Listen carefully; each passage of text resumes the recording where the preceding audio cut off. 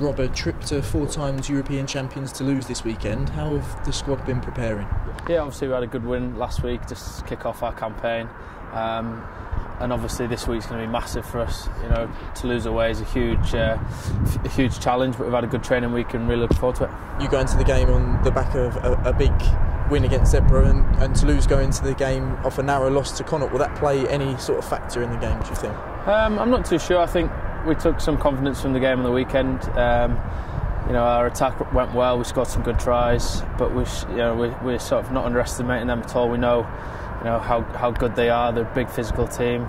They defend very well, and uh, you know, we really have to play the top of our game to, to go out to France and get the win apart from the big result of the weekend, the good thing was that you guys stuck to pattern, stayed to structure, and didn't let the game get too loose. Definitely, I think it's you know sometimes it's quite hard, certainly later on in the game when it the game breaks up like that, and you know sometimes people can go off on their own individual accord. But we did really well as a team to stick to our our team structures and scored a lot of team tries, and that was something you know that we're uh, we're really happy with and want to build on for this week. Some good memories in recent times for Wasps fans in France. This weekend's game is another opportunity to add that to a long list. Certainly, I think this you know it's a fantastic place to go, and obviously for the supporters that head out there, it's going to be a great weekend for those guys, and uh, you know I'm sure they're looking forward to it just as much as we are. Psychologically, how important do you think it is to finish this block of European games sitting top of the group?